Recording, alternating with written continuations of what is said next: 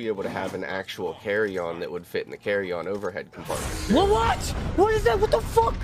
What? What the fuck is that? What the fuck? what the fuck was that? It scared the shit out of me.